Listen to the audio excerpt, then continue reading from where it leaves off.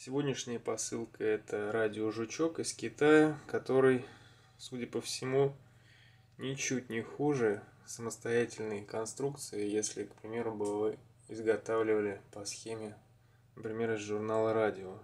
Должен быть там маленький радиомикрофон. Для сравнительного теста габаритов возьмем рубль 2 и 5 рублей. С виду выглядит очень даже неплохо.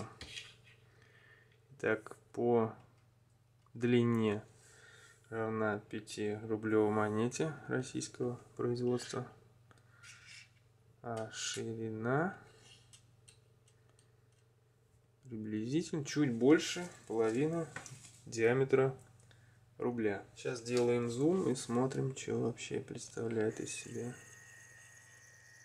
этот радиожучок.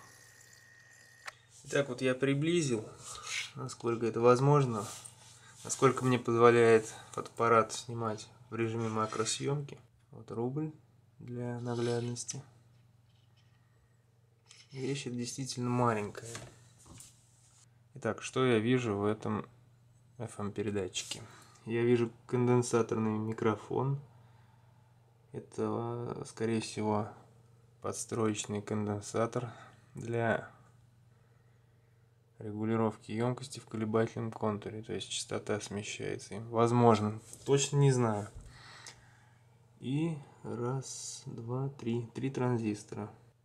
Здесь имеется три вывода для подключения, скорее всего, питания и антенны.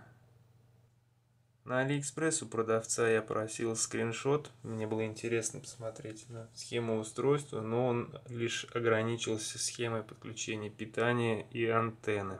Я могу сказать, что вряд ли вы когда-либо так качественно соберете радиожучок, как это сделали наши китайские братья. Поэтому, если вам нужен радиожучок, не поленитесь заказать его из Китая. Если вы не энтузиаст, радиолюбитель, естественно.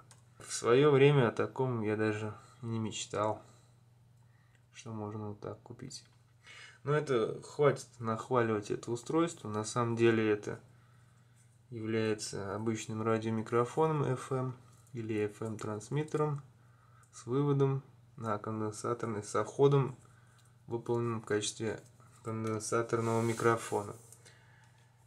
Использовать это для прослушки крайне непрофессионально, потому что любой человек в пределах 50 метров, например, ваш сосед, может на обычный FM приемник поймать сигнал, например, где вы снимаете звук. Ну, в общем, я вам не советую это использовать как радиожучок. А так поиграться можно, поприкалываться.